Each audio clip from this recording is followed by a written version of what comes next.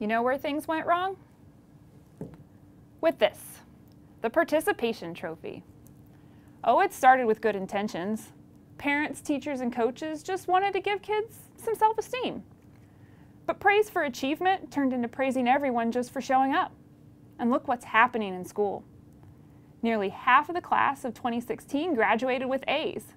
Roughly half of college grades awarded now are A's. Yet SAT scores continue to fall, and only about half of college students even finish with a degree. Researchers who've studied these rising GPAs nationwide say teachers are inflating students' grades. And they say it's most prevalent in affluent white schools.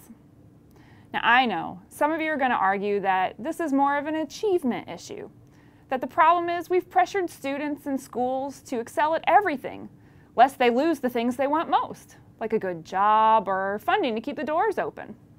So we give everyone an A to make ourselves look good or to get something in return because we deserve it, right? But isn't that also an entitlement issue?